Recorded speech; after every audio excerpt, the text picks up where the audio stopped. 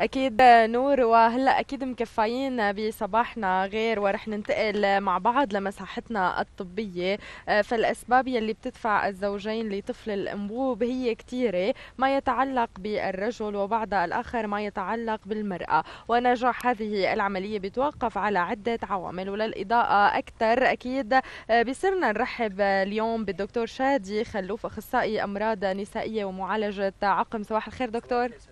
يسعد صباحك. يسعد صباحك دكتور واهلا وسهلا فيك.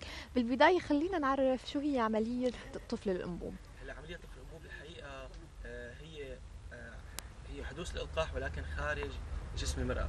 يعني نحن بنكون لسبب آه، معروف أو أحيانا غير معروف أو سبب مجهول أحيانا ممكن إنه نضطر نعمل هي العملية خارج جسم. يعني ناخذ البويضه من عند السيدة ناخذ النطفه من عند الرجل ونقوم بعملية القاحهم للحصول على هذا الجنين خارج آه، جسم المرأة وبعدين نقوم بعملية الإرجاع إلى آه، داخل الرحم.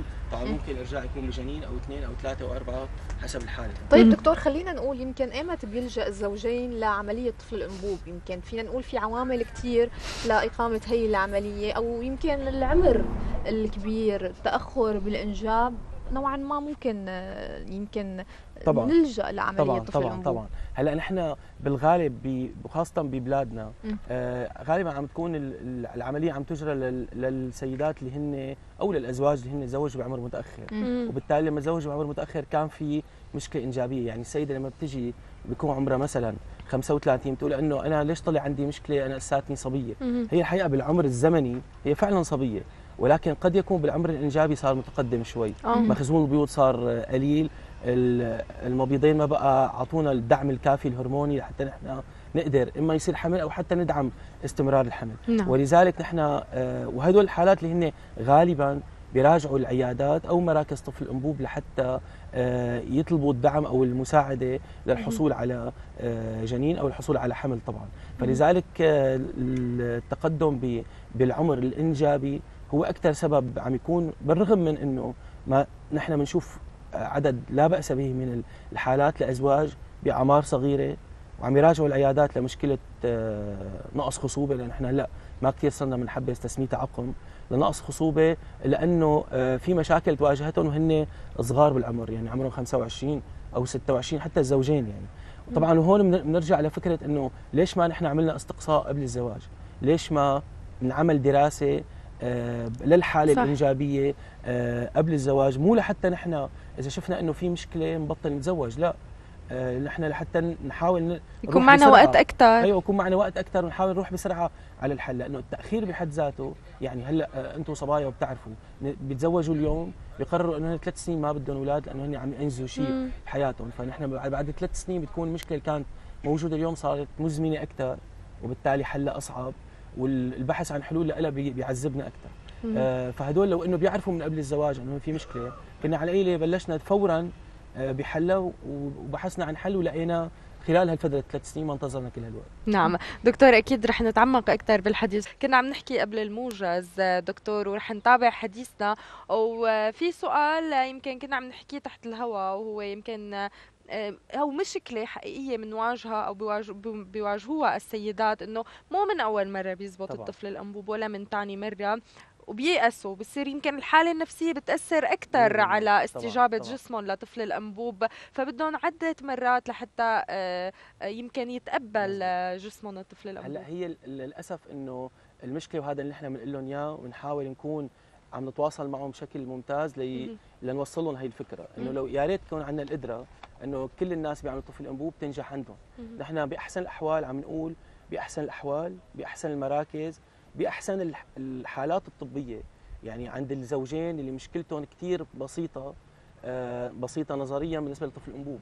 ولا هن لو بسيطة ما كنا رح نعطي طفل الانبوب ولكن ب آه، استطبابات طفل الأنبوب هن يعتبروا من الأسهل نحن بأحسن الأحوال عم نحكي عن 35 أو 40% نسبة النجاح. يعني من كل 10 أزواج في ثلاثة لاربع أزواج فقط آه، بتنجح معهم العملية من المرة الأولى. وبالتالي آه. نحن عندنا ستة ستة لسبع حالات فشل. فيا ريت كان عندنا القدره كم عملية تقريبا ممكن نحن عم نقول؟ يعني بعد العملية الثانية أو الثالثة؟ حتى ييأسوا على الأخير. لا لحتى إيه، تستجيب الجسم نوعا ما ممكن. هلأ يعني قبل اليأس. استجابه هلأ نحن كعملية طفل أنبوب. آه أنا بقول لهم دائما إنه نحن عندنا عدة مطبات. مم. كمان هدول لازم يعرفوها. وهي هذا طبعا واجب ال- الطبيب أو الطبيب المسؤول بمركز طفل الانبوب إنه يشرح لل لل للزوجين آه شو هي العملية أصلا في سيدات بيروحوا ما بيعرفوا شو بده يصير. صحيح. وما بيع- بيفكروا إنه عملية طفل الانبوب هي عملية ناجحة حتى يثبت العكس. لا وفي يمكن كمان سيدات الإجراءات اللي بتاخذها بعد العملية هي اللي بتأثر على عدم نجاح طبعاً، العملية. طبعاً، هن. بيفكروا إنه العملية لم تنجح بس في يمكن تعليمات وإرشادات يجب أن ترافق هي لأنه العملية نحن عندنا مطبات أثناء عم... أثناء. إجراء أو التحضير لإجراء عملية طفل الانبوب. لأنه عملية طفل الانبوب هي آخر مرحلة بهال هال هال procedure كله. مم. وبالتالي أنا ممكن أعطي تحريض وما تستجيب المريضه مهم. ممكن يطلع تستجيب المريضه للتحريض ولكن ما يطلع بيوض. ممكن البيوض ما تكون ناضجة. ممكن ما يصير إلقاح بأجنة من الدرجة الأولى اللي هن الأجنة إحنا بنفضل نرجعهم لداخل الرحم وممكن نرجع الأجنة لداخل الرحم والأجنة ما يستمروا. مم. ففيك تتخيلي عدد المطبات. هون نحن ما عم نحكي والعذاب. عن المطبات فنحن ما عم نقول إنه هو الموضوع سيء. لا بس نحن لازم نشرح للسيدة بالتفصيل ميزات وسيئات حسنات وسيئات هذا الإجراء اللي نحن آه، نحن عم نعمله وبالتالي يعني ما عندنا القدرة دائما إنه نقول إنه هي العملية هي ناجحة مهم. آه، 100% ومنذ المرة الأولى في ناس بيتوفقوا من أول مرة مم. وفي ناس بيط... وهن بيكونوا على فكرة نحن حالات نحن عندنا شك بإنه هي رح تنجح أصلا وبتنجح من المرة الأولى. وفي سيدات بنكون نحن أو أزواج بنكون شايفين إنه حالتهم نسبيا بسيطة ورح آه، يبيض وشنا اذا نقول بالعامية وللأسف ما بتنجح. لا أول مرة ولا ثاني مرة ولا ثالث مرة. وهدول طبعا الأزواج بيبقوا عم يغيروا. يعني إجوا مثلا لعند آه، دكتور شادي بهالمحاوله ما نجحت. راحوا عند لعند. X ما نجح. راحوا لعند Y ما نجح وعم وعم يدوروا على وهو القصة الحقيقة ما لها علاقة آه، بهالمركز أو هذا أو هذا. لأنه في نسبة فشل وهن للأسف عم. يكون حظهم بهالنسبه نعم. دكتور يمكن آه، من السنوات آه، الأخيرة آه، يعني خلينا نحكي أو أو رح لك سؤال بغير ناحية. من قبل كانوا العالم وقت يعملوا طفل أنبوب يروحوا لخارج سوريا طبعاً. ولكن بالسنوات الأخيرة يمكن صار طفل الأنبوب هو من أنجح الأجهزة اللي موجودة عنا بسوريا تواجدت. خلينا نحكي عن الأجهزة الموجودة خلينا نحكي عن التطور الموجود بالأجهزة. بشكرك على السؤال لأنه نحن آه، من الأساس ومن زمان خلينا نقول خلينا نقول أكثر من 10 سنين يعني من قبل الأزمة حتى بال- بالأزمة طبعا بالأزمة خف الموضوع ولكن من قبل الأزمة كان عدد ال- ال- الأزواج اللي يجوا من خارج سوريا لسوريا ليعملوا واللي هن طبعا من جنسيات غير سورية. أو سورية ليعملوا عملية طفل الانبوب هن أكثر من كانوا يروحوا من سوريا لبرا مهم. ولكن البروباغندا اللي بتنعمل للناس اللي هن لل- للمراكز اللي هي خارج سوريا بتوضح أكثر هذا الموضوع أو الموضة الدارجة دائما أيوة. إنه اللي برا طبعاً. لا نحن ولأنه في واصلين لمرحلة وف- من التطور العلمي إنه 100% البلد 100% في شيء وفي كثير أزواج بيعملوا بسوريا وما بيقولوا هن عملوا. وفي كثير أزواج بيحملوا وما بيقولوا عملية طفل أنبوب سواء بسو يعني صحيح. بسوريا أو عند الطبيب الفلاني أو آه، طبعا في تكتم بتعرفي الموضوع آه، فيه خصوصية في معينة. حساسية إيه. طبعا من التكتم الأجهزة الموجودة بسوريا المراكز الموجوده بسوريا وعم بحكي بكل المحافظات اللي كان فيها مراكز. هلا طبعا ما كل المحافظات بقى فيها مراكز شغالة أو ما زالت قيد العمل ولكن المراكز الموجودة بسوريا حاليا فيها من التطور الكافي جدا. بينافس كثير من المراكز الموجودة خلينا نقول بدول بدول الجوار. بالدول المجاورة. والأجهزة الموجودة متطورة الأجهزة الموجودة آه، حديثة بتعطي نتائج كثير كويسة. الأطباء المخبرين اللي بيشتغلوا بطفل الأنبوب وهذا نوع هذا طبعا شيء مهم لأنه إحنا صحيح إحنا كأطباء آه، نشتغل بطفل الانبوب يعني اخصائيه نسائية وعقم آه، بواجهة عند المريض ولكن طبيب مخبري هو طبيب كثير أساسي بهذا الموضوع. وعندنا خبرات كثير متطورة ومتقدمة وصاروا كثير دول جوار بيحاولوا آه، يعني آه، يسرقوا هدول الخبرات من آه، آه، من عنا لأنه في عندنا خبرات ممتازة. وبالتالي آه، خلينا نقول الأجهزة البشرية والتقنية موجودة موجودة عندنا وبشكل ممتاز حتى نقدر نحصل إحنا نقدر نحصل على النتائج الممتازة إن شاء الله. ومية بالمية مواكبة التطور. طبعا 100% طيب طبعاً. دكتور خلينا نحكي يمكن الإجراءات اللي بعد العملية قديش مهم يلتزموا فيها الزوجين؟ يعني قلنا نجاح العملية بعيدا عن العامل الطبي هناك عامل كمان جسدي ونفسي مرافق لهي العملية. هلأ أنا رح فاجئك بالجواب. آه إنه نحن علميا مو اجتماعيا نحن علميا. ما في داعي لأنه السيدة بتعمل عملية طفل انبوب ترتاح ولا دقيقة. آه. يعني بأوروبا لما كان كنا بالمركز اللي انعمل طفل انبوب. كانت السيده بتعمل طفل تجي من تجي من البيت أو من الشغل. طبعا حسب الموعد اللي أخذته ممكن تكون راحت على شغلها ومذيعة راحت على شغلها إجت من الشغل عملت آه، عملية الإرجاع عم. بحكي على عملية الإرجاع الأجنة. آه، لأنه عملية البذل تحتاج لتخدير يعني عملية سحب البيوض بس حتى سحب البيوض هو عملية هو تخدير عبارة عن خمسة ل 10 دقائق بعده بربع ساعة بتفيق المريضة بعده بساعة بترجع تروح تمارس أي نشاط حياتي. مم. بس عملية الإرجاع اللي هي ما بتحتاج تخدير ممكن تجي من شغلها تعمل عملية الإرجاع وتنزل وتروح ترجع تمارس آه، حياتها نشاط اليومية. نشاطها اليومي. هلأ نحن طبعا هذا الكلام مفاجئ لأنه في سيدات بيتخيلوا إنه هن ما صح لهم يرتاحوا خمس أشهر بعد عملية طفل أنبوب مشان هيك ما مشي الحال.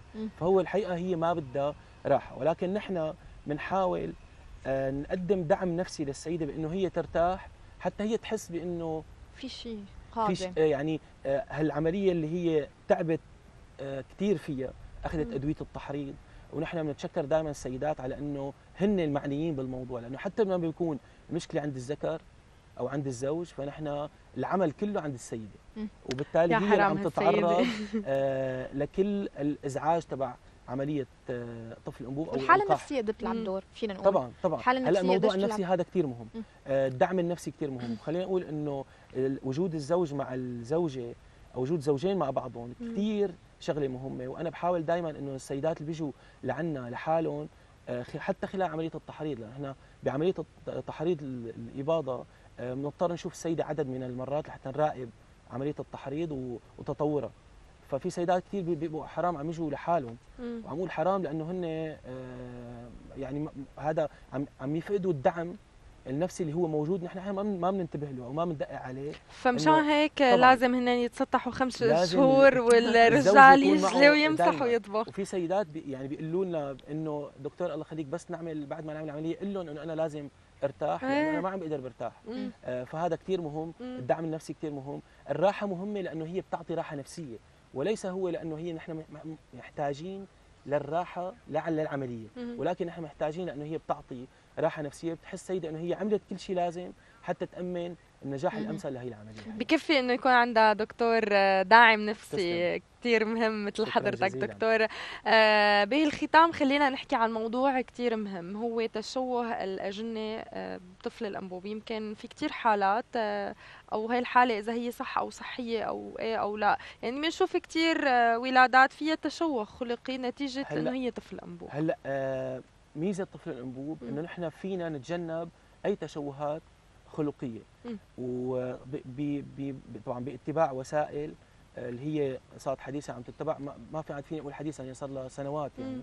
آه، بس تقنية هي آه، دراسة صبغية. بالليزرية لصبغيات الجنين لحتى نقدر نعرف هالصبغيات هل هو طبعا نحن بالغالب عم نحاول آه، صارت عم تستخدم لتحديد ذكر أو أنثى. وهون تحديد دقيق 100% مم. لنعرف صبغيات الأجنة اللي بدنا نرجعهم لداخل الرحم ولكن نحن بنفس الوقت فينا نعرف هل في أي تشوهات صبغيه على الأجنة وبالتالي ما نرجع الأجنة اللي هن فيهم أي تشوهات صبغيه وبالتالي أنا فيني أقول إنه عملية طفل أنبوب هي عملية نتيجتها إذا نجحنا فيها. هي آه، أجنة سليمة معافاة 100% بدون تشوهات آه، صبغيه لأنه الأجنة تدرس صبغيا بشكل آه، بيأهلنا لأنه نعرف هل هالأجنة ممكن يكون عندهم أي مشاكل. وهون عملية طفل الأنبوب ما بس أحيانا بتنعمل لأزواج ما بيقدروا يجيبوا أطفال لا ممكن لأزواج يكون شيء عم يجيبوا العملية- أطفال ولكن أطفال إما عم يموتوا لأنه عندهم تشوهات صبغية آه، حاملين مورثات آه، عم تؤدي لإصابات عند الأجنة. وبالتالي مثلا هالمورثات هي إذا الأجنة كانوا ذكور فكلهم بيكونوا غير قابلين للحياة. فنحن بنعمل طفل أنبوب لنختار الإناث لنرجعهم لجسم السيدة لحتى تحمل بالإناث والإناث عم يكونوا آه، سليمين فما كل السيدات اللي بنعمل لهم طفل أنبوب أو الأزواج هن أزواج غير قادرين على الإنجاب لا هن أزواج قادرين على الإنجاب ولكن للأسف ما عم تستمر هاي العملية أو عم آه، يكون محصول الحمل آه، غير مؤهل للحياة. فهي كمان عمليه نقطة كثير مهمة الحقيقة نعم. دكتور شادي خلوف اختصاصي أمراض نسائية ومعالجة رقم شكرا لوجودك معنا وشكرا للمعلومات اللي قدمت لنا اياها اليوم. شكرا كثير شكرا شكرا شكرا كثير. لك دكتور شادي. أهلا وسهلا. فيك